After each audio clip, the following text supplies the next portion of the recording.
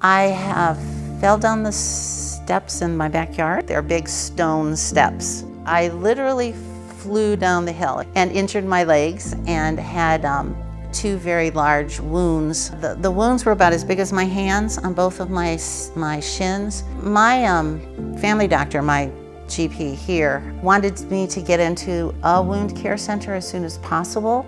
Now there is one five minutes down the road, but they had a waiting list. The next closest one would have been Laurel. They were able to take me there. After a few weeks, I met Dr. Fox, and he, um, being a surgeon, was really much more what I needed than um, just general wound care. Georgene had a pretty complex wound, and what was unique was it was on both of her legs. And they were very painful and they were somewhat infected.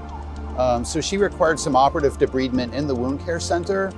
And then after some discussion, we decided to put the negative uh, pressure therapy, which is a wound vac, uh, which basically helps prepare the wound for a skin graft. I went in in the morning, had the surgery in the morning of the first day, stayed overnight, went home like in the afternoon of the second day. Very, very pleased with the hospital, the staff and the um, the organization, the, the rooms that in the hospital were so nice. This is a very common procedure that wound specialists do. General surgeons, trauma surgeons, vascular surgeons, we all deal with wounds and it's just another tool in our armamentarium to offer the patient. Uh, what's unique is that the University of Maryland has a wound care center in Laurel, which ex has expertise in hyperbaric oxygen therapy and all kinds of wound care supplies and really skilled nurses that know how to handle these patients. Fine now, um, pretty much back to normal. I can do most, you know, most things. I'm careful.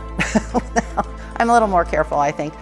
Maryland was so well organized. It was just very well structured and, and well executed.